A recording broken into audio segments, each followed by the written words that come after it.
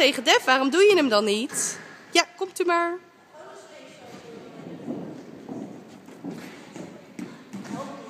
Nou,